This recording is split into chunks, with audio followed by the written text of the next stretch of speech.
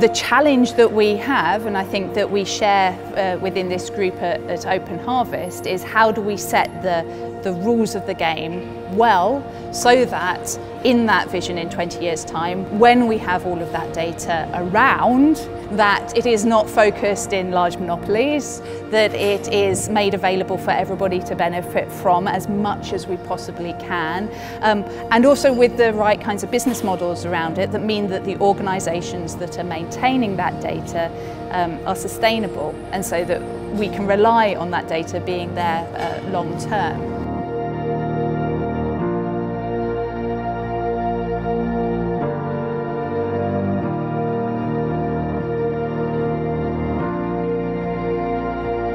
in order to be able to innovate and to have any kind of scalable impact, we need to be able to discover data and integrate it and make, you know, derive bigger actionable knowledge from it uh, than we can with any single data set. So a global data commons will absolutely do that. 我想未来啊，这个呃一流的这个计算环境和数据环境啊，是每个做研究人员所需要的。 那么我们在这个论坛上啊，大家都提到了开放数据，都提到了这个呃数据共享的社区。我想啊，这个都是未来这个整个呃农业科研所需要的。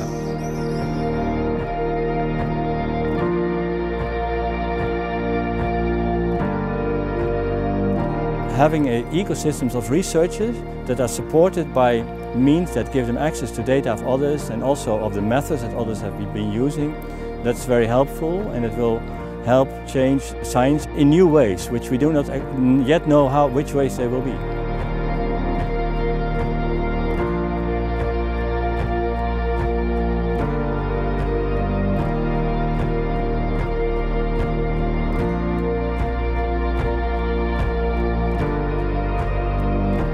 Some of the issues that came up during the, uh, the Open Harvest meeting this year that kind of particularly resonated with us were around issues of making open data open for a greater group of individuals, a greater constituency, addressing issues around data rights and ownership especially.